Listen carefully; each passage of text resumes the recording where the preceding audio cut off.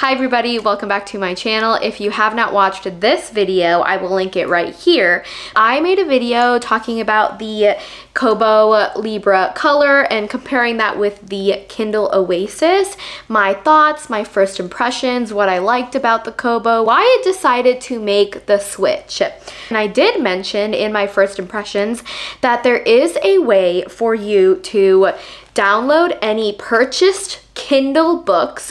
So any Kindle ebook that you purchased yourself and you're able to actually transfer that over to the Kobo product, so my Kobo Libra color. I thought that I would just hop on and make a quick tutorial video showing you how you can do it yourself. It is actually quite simple and easy to do. You just have to download a few applications for this step. The reason why you need to do this is because on Kindle ebooks, I'm not positive if this is the publisher who does this or if it's Amazon, but there's a specific format that the ebooks come in for Kindle ebooks, and you have to remove that format before you can transfer it over to your Kobo. So that is what I'm going to show you how to do today. I will be screen recording and going through all those steps so you can do it yourself. For these steps, you'll need just a few things. You're going to need a computer. You'll need to download Calibre, which we'll talk about in my steps.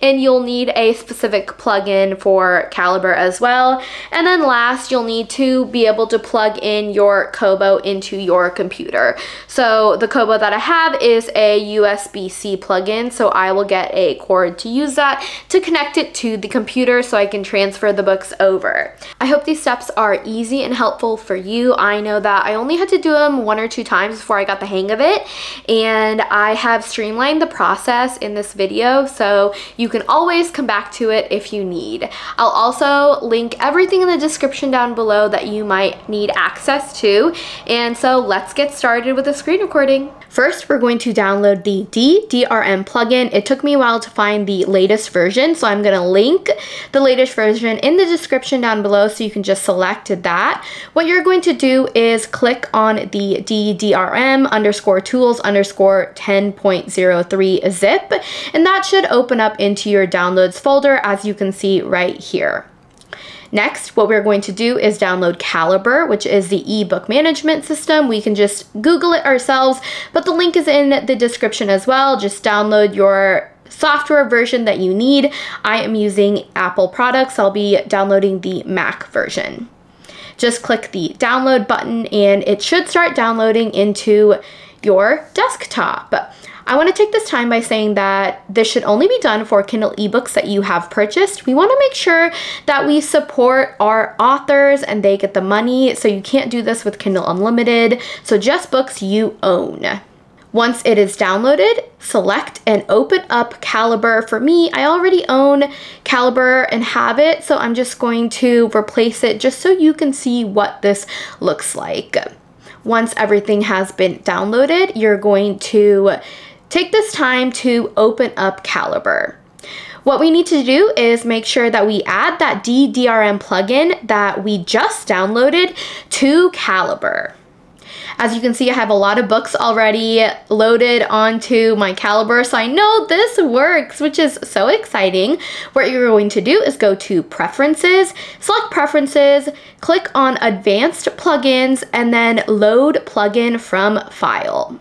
Then you're going to select DeDRM underscore plugin dot zip. It should be right there in your downloads folder since we did download that up. Click open and then click yes and make sure you restart your Calibre so everything can get updated accordingly.